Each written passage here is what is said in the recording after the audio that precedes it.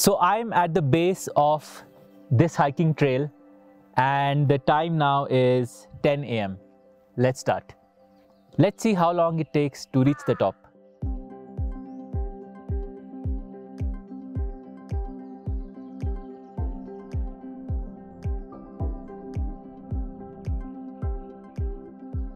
I've reached the top and the time now is 4.50 p.m. Not bad. Now suppose I start descending from here at 10 a.m. tomorrow and reach the base sometime later.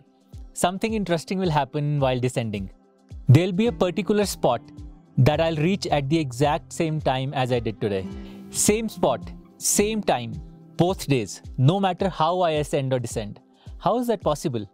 Now, we do not need to find that spot or the time when I'll reach it. We just need to prove that such a spot exists. Want to give it some thought? So, here's an elegant way to think about this. Suppose this is how I reach the top and this is how I return.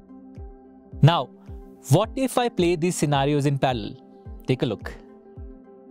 So at this particular time, I'll be at the exact same spot on both days. What if I climbed up in a different way? Maybe faster in the beginning, some rest in between, and slower towards the end? And what if I descended in another random way? Doesn't matter. There will still be a spot that I'll reach at the exact same time on both days. Again, it doesn't matter where that spot is or when I'll reach it. The only detail that matters is that such a spot definitely exists and I'll be there at the exact same time today and tomorrow.